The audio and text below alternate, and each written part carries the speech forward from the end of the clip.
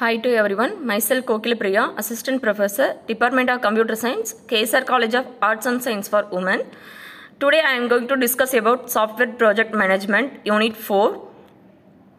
Software Development Dependencies. Types of software development dependencies. As stated earlier, dependencies can be categorized as a number of ways. Once ways to consider internal versus external dependencies. Another way is, is to see them as activity limited or resource limited. Yet another way is to look at the strength of the dependency. All of these dependencies may not be as clean as you would hope for and may have some special consequence in the schedule.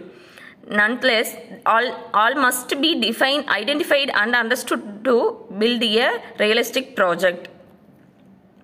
External versus internal dependencies. External dependencies for the development project would include any connections to the work products of other projects. Your project may be dependent on other development activities parallel to the software development. An example of this this is when there is a higher level WBS that means work breakdown structure describing a total turnkey system solutions under de- development that includes hardware customized or just assembled.